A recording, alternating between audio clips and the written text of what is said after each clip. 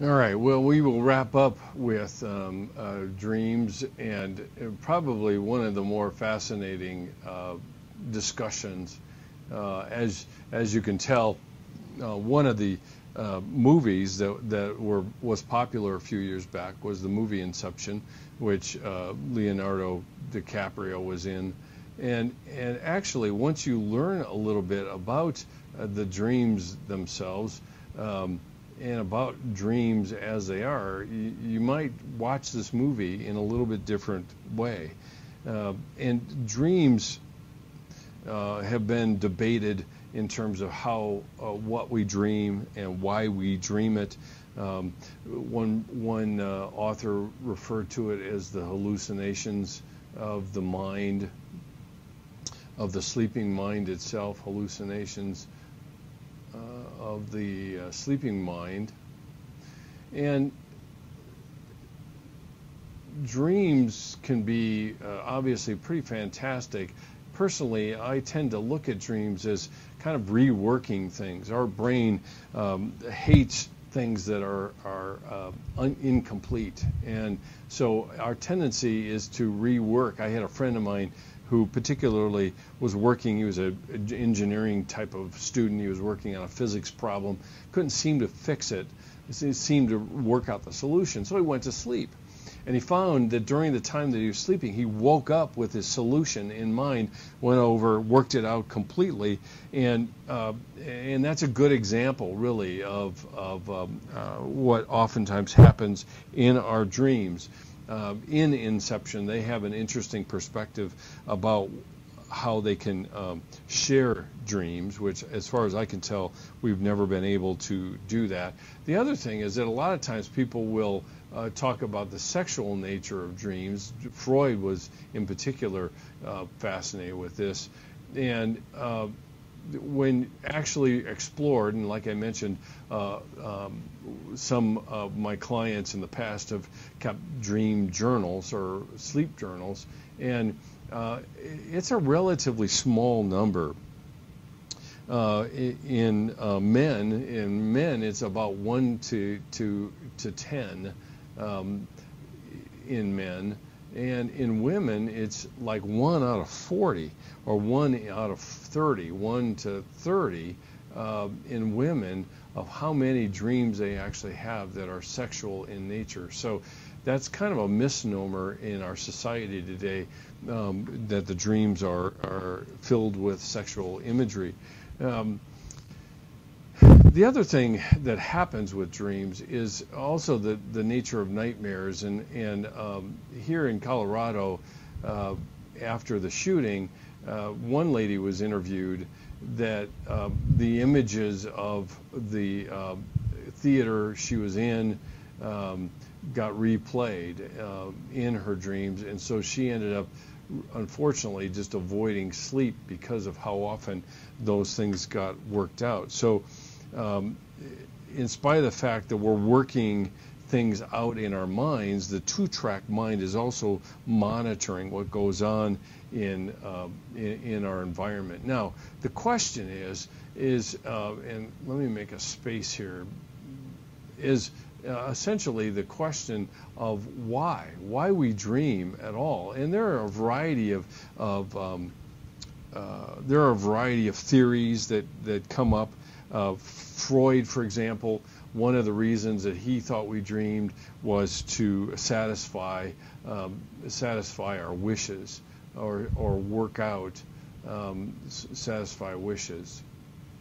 And that was Freud's idea. His he, he used to refer to dreams as the royal road uh, to the unconscious. Royal Road.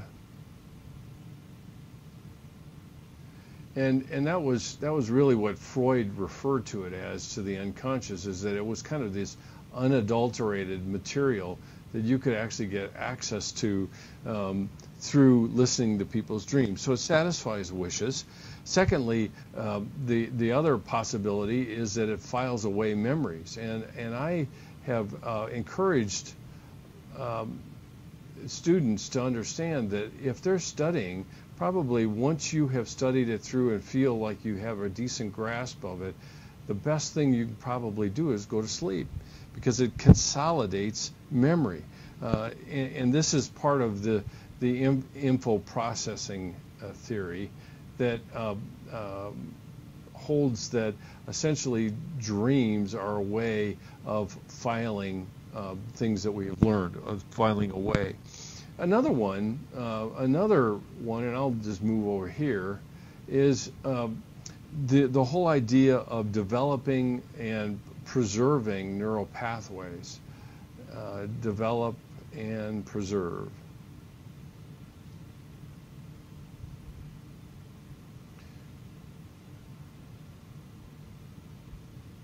Neural pathways. I'll just say neural paths. And, and essentially, this idea is it serves a physiological function. It provides the brain with periodic stimulation and at the same time kind of nails down learning paths that we have been using in our wake state. Um, the other the other aspect here is that we've got a lot of what what's often referred to as neural static, and essentially dreams are a way to make sense of it. And so they take this static and they uh, they make a story or uh, make sense of it somehow that uh, will put it all together. I think in a lot of ways that's exactly why so often it, it, there's such fantastic images that, that come into play during that uh, point in time.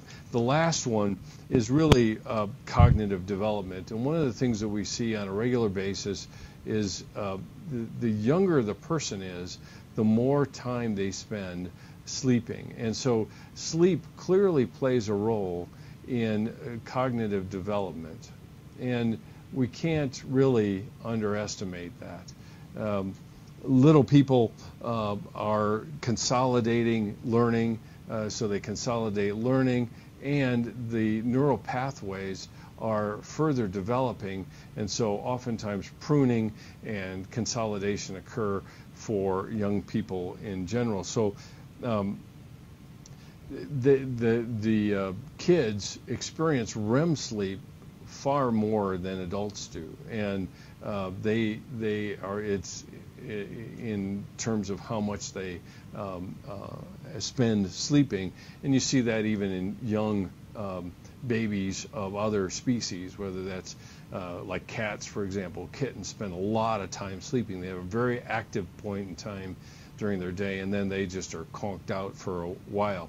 The last thing I want to mention, and I'm going to have to carve out one more space, is this idea of REM rebound. And when we are deprived of, of our REM sleep, um, what happens is that when we finally get to sleep, you see a rebound in sleep.